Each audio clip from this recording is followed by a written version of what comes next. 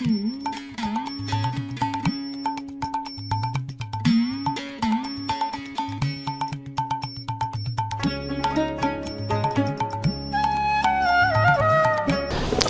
আলাইকুম। সুদী দর্শক শ্রোতা, আমরা এখন দাঁড়িয়ে আছি সরকারি ব্রজলাল কলেজ খুলনাতে।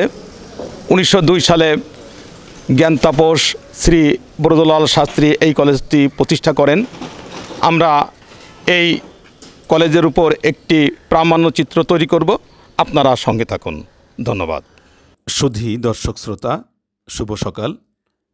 বাংলাদেশের ঐতিহ্যবাহী বিদ্যাপীঠ সরকারি ব্রজলাল কলেজ, কলেজটি খুলনা মহানগরীর দৌলতপুরে অবস্থিত।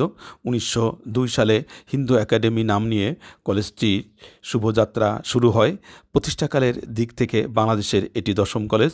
প্রথম কলেজ হচ্ছে সরকারি ঢাকা কলেজ। আঠারোশো একচল্লিশ সালে ঢাকা কলেজ প্রতিষ্ঠিত হয়। এর পাশ দিয়ে বয়ে গেছে কুলুকুলু ধ্বনিতে ভৈরব নদ, সিংহদরজায় রেল লাইন ও খুলনা যশোর মহাসড়ক। উনিশশো দুই সালে এ অঞ্চলের প্রখ্যাত জমিদার শ্রী ব্রজলাল শাস্ত্রী এ কলেজটি প্রতিষ্ঠা করেন।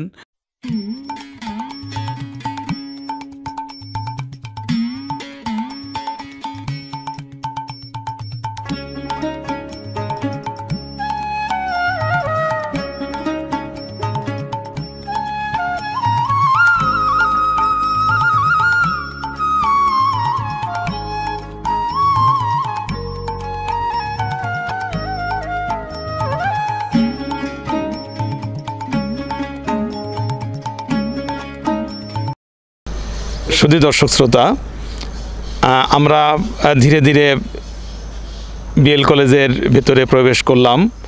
আমরা দেখতে পাচ্ছি এই ডান পাশে সরকারি ব্রজলাল কলেজের মন্দির কমপ্লেক্স। উনিশশো দুই সালে ব্রজলাল কলেজ প্রতিষ্ঠা হওয়ার পরপরই এটা প্রতিষ্ঠিত হয়।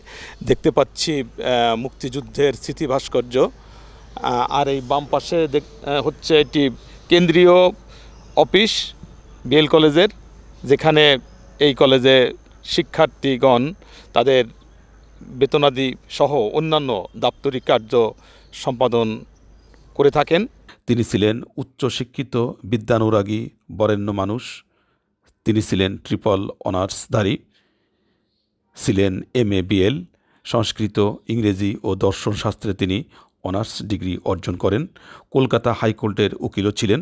তিনি খুলনার সন্নিকটে রূপসা নদীর ওপারে ফকিরহাট উপজেলার বাউডাঙ্গা গ্রামে আঠারোশো একাত্তর সালে জন্মগ্রহণ করেন এবং উনিশশো চুয়াল্লিশ সালের আটই জুলাই স্বর্গ আরোহণ করেন। উনিশশো দুই সালের তেসরা জুলাই মাত্র দুই একর জমির উপর কলেজটির দাপ্তরিক কার্যাদি শুরু হয় এবং ওই বছরই সাতাশে জুলাই আনুষ্ঠানিক সভার মাধ্যমে কলেজের ক্লাসের কার্যক্রমের শুভ সূচনা হয়। তাই সাতাশে জুলাই কলেজ জীবনের প্রতিষ্ঠাকাল বলে পালন করা হয়।